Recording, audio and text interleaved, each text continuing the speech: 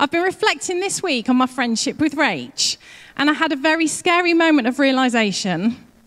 So, we met when we were 20, when I started to date Ad, and I came to Calvary for the first time, and I met this incredibly fire anointed woman of God. And I realized that was 25 years ago. Happy 25th anniversary, Rach. Isn't it great how God puts people in your path at different times? And sometimes you don't have things to do with them, and then suddenly God brings you back together again. And Rach and I met together again a, a few months ago, and it was just great to have a heart connection moment where we could talk about our kids and the challenges of being a mum and uh, just really connect with God's goodness and faithfulness on the journey of life that we have had. And so I hope you are ready for this. Get your books out, get your phones ready to take notes, get your hearts open. Because we are going to receive something great from God this morning. Because Rachel's got an anointed of communication over her that we are going to be receiving today. So let's welcome her to the stage, Rach Wadhams. Woo! Wow! Big up one born! Wombourne. Wow. It's happening in Wombourne. I just want to honour a few people. Is that all right, first of all? Because um, I'm just so happy to be here. I want to honour Pastor John. He is an incredible communicator. He used to come to Calvary occasionally, I think maybe probably once a year, and he would preach the gospel often on a Sunday night, was when we had the gospel. And his demonstration of how to preach the gospel was just genius. It was so good. Pastor John, thank you for your pastor, but also your evangelism. Thank you for your skill of leading many people to Jesus. And um, even this morning when he got up, I mean, how good is he? He's just amazing. So thank you, Pastor John. I have to honour my spiritual mum and dad. Every time I'm in the room and I get a mic, I have to. Pastor Paul and Pastor Gail, I wouldn't be here without them. Um, I served with them for many, many years. I was a youth pastor with them, served with them in many, many different seasons in our church. I, everything I owe to them spiritually, everything I am, probably even some of my faults, I blame on them. yeah? They'll have to deal with it. That's what mum and dads have to do. They are incredible. Their passion for the lost is amazing. They always have a story of someone they are leading to Jesus. They are deadly. They're like the deadly 60 of evangelism. and I want to honour beautiful Pastor Deb. I mean, how incredible is she to stand up to be counted as a woman and say, I'm going to do this, is brave and courageous. And as I was praying for you, Deb, I really felt that you demonstrate family. And this church is full of incredible families. But God tells us He puts the solitary into families. And you're going to bring many lonely people, people who struggle with family, who've not had a good experience of family, and just through your life, just through your love, just for who this church is, you will bring about incredible breakthrough in families. Brilliant. Keep going, Deb. Anything you need, if you just want a drink, non alcoholic, anyone who's judging, maybe not, then I'm there for you. Don't feel alone. I know it can feel a bit lonely sometimes in leadership, but don't feel alone. I want to preach a message this morning that is so simple. That's not an indicator of anything about your intelligence in Wombourne. I'm sure you are a very sophisticated group, but it was something God absolutely put on my heart a couple of months ago. And I thought I couldn't, I couldn't leave it. And it's been sort of chasing me down. Have you ever had that sort of message? So I thought, you know what? This is, this is kind of what God has been speaking to me about and I want to preach on it today. Now, it's in a book of the Bible that those of you who are kind of really, you'll know, but maybe some of you might not have read it a lot, and it's Malachi. If you don't know where Malachi is, go to Matthew and flick back, and you've got a minor prophet book, Malachi. Malachi was written around the same time as Nehemiah. And if you know anything about Nehemiah, it was a time of desolation. The walls were down, the temple was broken. It was a really tough time in Israel and many people were captured, taken into foreign lands. It was a difficult time. And at that time, uprose people who would deliver a message from God to remind people that they were not forgotten, to remind them to turn back to God, to remind them that this is where you're going. Often, the books, the prophetic books, would speak not just in that time, but times that were to come, even in the New Testament and even now. So we have the book of Malachi. Malachi means messenger, so you know he had a good name for what he was doing. But I'm just going to start with just reading this simple verse to you. And it says, Malachi 1, a prophecy, the word of the Lord to Israel through Malachi. I have loved you, says the Lord. But you ask, How have you loved us? Now, when I read that, I was just absolutely blown away. Because I feel that that almost start of Malachi was a summary not just of that generation, but I feel a summary of how often humanity is. That God is saying, I love you. And we are saying, but how have you loved us? There's a disconnection somehow between God's love and man's ability to receive that love. And I kind of want to speak about that a little bit today. Now, you may feel that you've been a Christian a long time and you know about the love of God, and absolutely you do. But do you know what? I think for all of us, we need to have that rekindling, that realigning with the fact that God's love is endless. And He wants you to be reminded today how much He loves you. Psalm 103 talks about the love of God. And it says, as high as the heavens are above the earth, so great is the love of God. Now, when David wrote that, he was inspired about the heavens, but he didn't have all of the amazing institutions we have now to understand the depths of the heaven. The moon is 855 miles away. Mars is 140 million miles away from the sun. And Neptune, the furthest planet away from the sun, is 2.7 to 29 billion miles away from the sun. Now, I can't get my head around that. I know if I had a billion pounds, I'd be wealthy. I get that. but that is massive. And that's just one galaxy. So when David is saying, as high as the heavens are, so great is his love, he's kind of showing us, God is demonstrating how vast his love is for humanity. It is endless. The Old Testament gives example after example of God's love. And then we have this incredible explosion of God's love in the New Testament.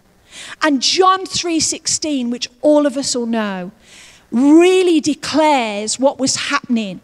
For God so loved the earth that he gave his one and only son. God so loved the earth that he gave he was generous to us. His love is not just high and wide, but it's action filled. It's a love that goes beyond. It's extraordinary lengths that God Himself would come to earth. We've celebrated communion, but that communion is because of the love of God for us. Romans 5, and I'm just going to read this to you. I'm kind of, I've got a big book and I don't think I've done very well, so I need to do. Ta-da! Right. Romans 5. Let me read this to you because it's just wonderful. It's entitled Peace and Hope, but from verse 5, this is what it says And hope does not put us to shame because God's love has been poured out, not sprinkled, poured out into our hearts through the Holy Spirit who has been given to us. You see, at just the right time, we, read, we sing a song at the moment, He's always on time. Just the right time. When we were still powerless, Christ died for the ungodly. Very rarely will anyone die for a righteous person, though for a good person some may possibly dare to die. But God demonstrated his own love for us in this while we were still sinners. Christ died for us. God's love is a God that is demonstrated to us, even when we didn't know Him, even when we were far off from Him, unworthy, didn't measure up. God's love reached out to us. Ephesians 2, verse 4 says, But because of the great love for us, God, who is rich in mercy, made us alive with Christ, even when we were dead in transgressions. Jeremiah 31, I have loved you with an everlasting love. I have drawn you with unfailing kindness. Lamentations 3, I love this, verse 22. Because of the Lord's great love, we are not consumed, but for his compassion never fails. It is new every morning. Do you know what? The love of God is so important for us to have grounded deep within our hearts. The love of God and God cannot be separated from true love. He created it, He's driven by it, He demonstrated it, He proved it. The gospel of Jesus Christ is a gospel of love. He remains the same. He is steadfast and faithful. If we want to share anything about kind of Christianity, we have to start with people to say, God loves you.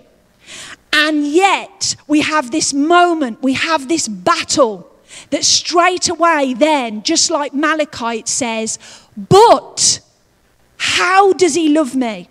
The connection between what the Bible says and our hearts can be really challenging at times. You know, I believe that if we look at our society, love can be very twisted. Love can be very strange. Love can, can be a message of it's okay if you feel it. Love is blind, married at first sight, Love Island. Are they really stories of love? I don't know. Um, but they are all ways that people are desperately trying to find out the mystery of love, capturing it, desperately wanting to feel love from humans. But how great to feel the love of God. So, why is there the disconnection? Well, I've got a few things that I wrote down, and um, there's loads more. But I think the first, and this was probably true for the community around Malachi, Malachi was this that the love of God is not based on circumstances. You see, the people at the time were going through hardship, they had a dark time. Things weren't going well, there was no fruit, there was nothing, their prayers were not being answered. It was incredibly full of poverty and affliction and darkness. And we can say, Where is God? If God loves me, then what's happening? But let me encourage you God's love is not based on a moment, it's based on a lifetime. You see, you may go through a season of darkness, but God remains the same. He loves us. And He wants, His love is not based on just blessing, it's based on a seasonal understanding that He loves you wherever we're at. Sometimes the things that we go through, we will not be able to see until we enter heaven. Andy and I have just celebrated our 20 year anniversary. I know it's a miracle. Um, especially because James and Kirsten did our marriage prep. no, they were amazing. But when we did this, you know, we decided we would celebrate, we would go to a place where we got um, engaged. So we went back to Salcombe, that's where we got engaged. It's a place in Devon. And I remember when we got engaged, he took me to the cliff edge, and I thought he's either pushing me off or something's happening. And um, he got down, I didn't know, got down on one knee, got out the bling, and I thought, wow, wow. And then we looked out to sea, and I said I would. And then we went to a restaurant. This is a symbol of Andy. You know, I went to a restaurant, and then Andy went, We're just going to keep this on the low rate. We've just come to Salcombe. Let's just have a lovely meal. I went, Yeah. He went to the loo. Yeah. When he went to the loo, I stood up in the restaurant. I've got engaged! By the time he got back in, everyone's clapping. I've got free drinks on the go. And he just must have thought, What have I done? But when we went back to Salcombe 20 years later, we said, we took the kids, we're like, let's see where mum and dad got engaged. Went to the cliff, it's crumbled away, guys. so we were like, it's not a symbol of our love. you see, circumstances can feel like things around us are crumbling. But you see, God's consistency with us doesn't crumble. He never changes. He loves us through every period of our lives. Can I encourage you? I appreciate that you may find it hard because of your circumstances to feel whether God loves you. But I'm telling you now, the dark times will end. There is after sorrow comes joy. God loves you, and He will love you in every season of our lives. He is faithful and his love is faithful. You know, I thought Pastor John, what he said earlier, was so right that we can base the circumstances on whether we are achieving. Well, God loves me if I've done well. We're about to enter exam time in our house. Oh, glory. And uh, we've got one who's going to be doing GCSEs and one who's going to be doing her end of kind of art course. It's going to be really calm and peaceful in our house. And obviously, you want to add a bit of pressure, especially to my son who's very laid back, you know, just like, hey, it'll happen. No, it's not. You work.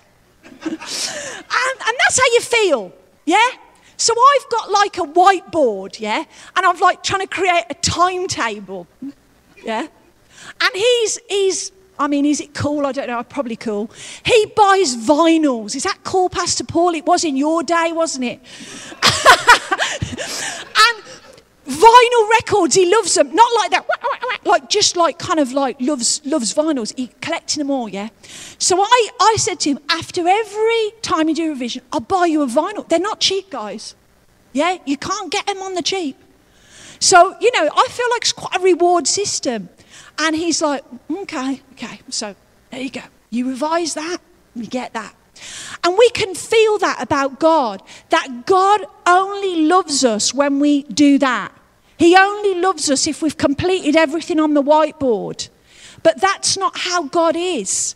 His love is not based on circumstances of our kind of our kind of um, attitude or whether we've done well or whether we've done well in that job interview or that grade or it's not based on that. God loves us in every season.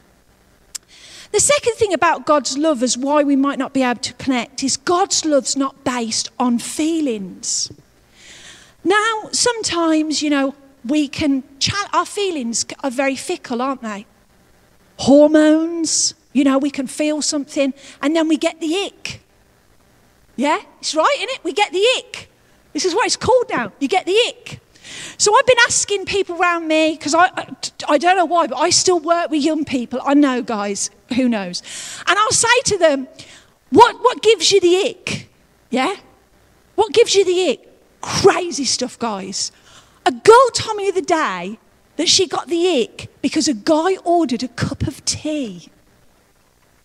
How crazy is that, Pastor? She was just like, no, no, no. When he ordered a cup of tea, that was it, right? Ick, ick time, off. I was like, oh, right, okay. And it, it's not, God's love isn't based like that. He doesn't all of a sudden get the ick with us and doesn't love us anymore. You see, scripture doesn't change. Our feelings can change. We can feel wonderful in a conference, feel wonderful in God's love, feel Him close, feel His embrace. But then we may feel that He's distant Our feelings may feel, we may feel tired, we may feel challenged, but it cannot be based on feelings. It has to be based on the Word of God. God's love is for us. And I think that the people who Malachi was speaking to maybe were having these feelings and they questioned it. The love of God can be blocked by our wrong living. How many of us know that? That actually, even in this book of Malachi, it goes on through the chapters to explain what the people needed to do. There was things in their lifestyle that weren't measuring up. And, you know, God, through Malachi, God was saying, you need to adjust these guys. It doesn't mean that God doesn't love us, but it means our connection with Him can be a barrier. We know that even when we were dead in our transgressions, we read that earlier, His love is not far away from us, but we can feel that block. I love the fact that you guys have that moment to do communion with God. Do you know, um, I, I don't know if it was Pastor Paul. Let's say it is. Let's quote him. Yeah, let's quote him. He used to say, keep a, keep a short sheet with God. You know, like don't leave it weeks and weeks before you come back to God and repent. You know, and, and those moments of communion are opportunities for us to say, Sorry, God, I'm coming back. Thank you. If there's anything in my life, any bitterness, any resentment, any jealousy, any comparison, God, I, I kind of lift it off and I come to you again. And God is faithful and just and forgive us. And my mum and dad, Peter and Meg Worthington, are amazing prayers. And my mum has a mantelpiece, yeah, in a house. And at the centre of the mantelpiece, she has a powerful poem, Footprints. Do you know this powerful poem? Some people believe it's in the Bible. It's not, yeah? Right, footprints, yeah? She'd have it on tea towels, t shirts, badges, you know, there it was. And in the middle of the mantelpiece, footprints. And it's powerful bit at the end. It's then when I carried you, you know, oh, wow. Anyway, in the middle. Now, times of my life when I got gradu- when I graduated and I got married, there'd be a, a, an amazing photo that would come out, you know, me and Andy posing, you know, at the Chateau. It's now turned into a painting ball range, but anyway, you know, posing, um, or something else, yeah. And, and we'd have this photo. And I'd come into mum and dad's house, and the footprints would have been moved, and in the centre of the mantelpiece would be a picture of us. So this was an opportunity for me to mock my mum and dad and go, oh, hang on. Oh, what's happening here? There's been a shift. Footprints has moved to the side. And all of a sudden, what's happening now? And my mum would get very, very worried about this. And she'd laugh, but straight away, you'd see her shifting, shifting it back. And I love that because that's what God wants us to do. He wants us to realign and shift back. So often things can just crowd in. And they're, they're lovely things sometimes, but they crowd in. And we just have to shift stuff back shift our thinking back, shift our lifestyle back, so that God is the center. Another thing that maybe was why the, the people were struggling with connecting with God was because they'd lost the church. And the temple was desolated. So they were no longer gathering together. I don't know how you felt in COVID, but I felt like my right arm and left leg were sawn off.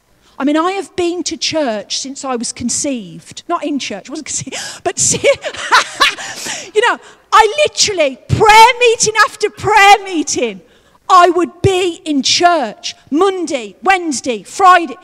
And when all of a sudden you couldn't go, I didn't know what to do, guys. I mean, I was absolutely lost.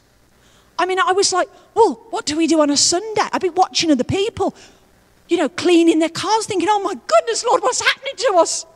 You know, it was such an awful time. And many of us were struggling. That's how this generation would have felt. They had nowhere to come to and gather. Can I encourage you that, yes, of course, your relationship is amazing with God on your own? It is an individual relationship, but there is nothing like gathering in the house of God. Better is one day in his courts than a thousand elsewhere. Don't do once a month. drop in.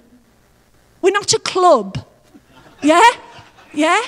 It's an every week thing. Yeah? Because it kindles us. It gives us that energy of God's love. We're reminded through the worship, through the communion, through other people that we are loved and He loves us. There is nothing like the house of God.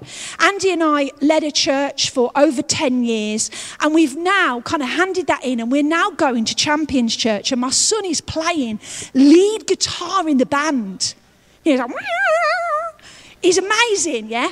Well, it's been incredible for him because he's kind of got a new passion for the house. It's been wonderful to see. And he went to um, a kind of youth weekend and he decided he would take his friend. Right, so I'm like, okay, have you talked to your friend? Does he know what he's expecting? He's like, leave it, mom. Yeah, so it's like, okay, right. So off he goes. His friend Jordan's come to church with him. And on the weekend, he made a decision to follow Jesus. Incredible. And so that's why Andy is not here today, because Ellis had to go early to play in the band. So Andy's bringing Jordan to church for the first time today. And I just think, wow, he's never been to church. We can take it for granted. And he just could not believe all these people were going, Hi, wow, nice to meet you. And he joked in the car on the way back. And I said to him, How did you feel about it? And he was like, Because he's quite a tall lad, yeah. And he said, Rach, I did feel a little bit weird when I went out the front and I was standing up. And you know, I'm tall and I'm ginger. And I said, Do you know what? God even loves gingers.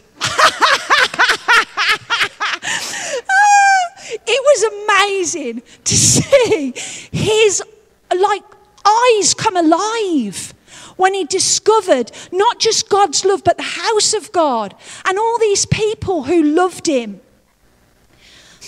God is so faithful. And I want to encourage you, Wombourne, connect with God and his love. You know, if you want to share with anyone else, if you serve in the church, if you've got people who don't know Jesus, then you need to be saturated in the knowledge that God loves you. And it will just seep out. When you are in love with God and you realize His love, it's contagious. And people are, are just drawn to it. People want to experience the love of God. We have this incredible story of Peter in the Bible. And there he was, Peter the disciple. And he followed Jesus. He saw all these incredible miracles around Jesus. And yet, right when Jesus needed him, he let Jesus down. And he denied that he knew his best friend. But then we have the comeback story where Peter is just on the beach. He's returned. He's tried to fled away. He's done a Jonah. He, he, he feels lost. He doesn't feel connected to God's love. And then we have this amazing moment where Jesus comes, cooks breakfast on the beach. How incredible is that? And then speaks personally to Peter. And what he says to Peter is amazing because what he does is he asks him this Peter, do you love me? Peter, do you love me? And he asks him it three times because he's reinstating in Peter's heart, Yes, I love you, God. And I feel sometimes in my life, I need to reinstate that value again. Rachel, do you love me? And I reply, Yes, God, I love you. Can I encourage you today as we pray? And the band is just going to pr- play a song. I want to encourage any of you who don't know Jesus. I want to encourage you this morning, just through everything that you've seen today, God loves you. It doesn't matter where you've been, it doesn't matter your history, it doesn't matter your credentials. God loves you. As high as the galaxies are above the earth, He loves you. He loves you endlessly. He knew you, you before you were born. He knows the end of your life. He absolutely loves you. And I want to pray for you. that you would experience the love of God. But I also want to pray for all of us that however long we've been in church, however many years we made that wonderful decision that I will follow Jesus, I believe we need those moments where God comes again and just fills us with his love, fills us with an expression of his love, that he loves you. You're, until you get to heaven and you experience the true love of God, we only have fragments of it, don't we? But how wonderful to have those fragments on earth. And that's what I want to pray. Let's pray. God, thank you for today. Thank you for sending Jesus. Thank you for your demonstrated love through history to us. God, I'm sorry when we've turned away, when we've not accepted your love. I come today and I say, I'm sorry. And I want to be a Christian. I want to come to you. I want to begin to experience your love and forgiveness and be part of your family, the church. Amen. If that's you, then just as we're kind of gathering round and saying goodbye, will you speak to Pastor Deb or one of the other people that you know in the church or the friend that you've come with and let them know that you've made that decision? They'll be able to give you information. But just for all of us right now, as the band plays, I just want to encourage you to make a visual sign that you want to be filled with God's love. It might be that you want to stand up in the song. It might be that you just want to lift up your hands. It might be that you want to kneel. It might be that you just kind of want to hold the person's hand next to you and just pray for each other. Whatever it is, I just want to encourage you in this song because the love of God is here and He wants to fill you with His love and passion in your life. Father God, as we worship you in this song, we pray that you would fill us with your love. We may have gone through a dark time. We may struggle and feel that you are far away, but God, you are reminding us today that you are near us and that you love us. You love us in every season. You love us, our background and our creed. Thank you, Jesus. Amen. Amen. Can we say thanks to Rach for that amazing message? Absolutely brilliant.